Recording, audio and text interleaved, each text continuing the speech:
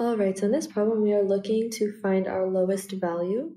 Uh, so let's start out with taking a look at all of our answers. And we have two answers here that are already greater than 1, so we can cancel those ones out. That's going to be 5 over 4 and 14 over 13. Now let's take a look at 10 over 12. And if we simplify it by dividing the numerator and denominator by 2, we get 5 over 6. Now let's compare this 5 over 6 with 7 over 6 over 7. And if we take a look at these two fractions, both fractions are smaller than 1, and their numerators both have an equal distance from their denominators. 5 is 1 away from 6, and 6 is 1 away from 7.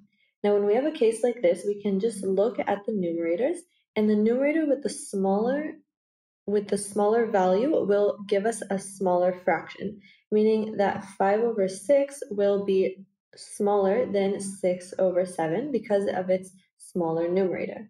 And so 10 over 12 will be our smallest value.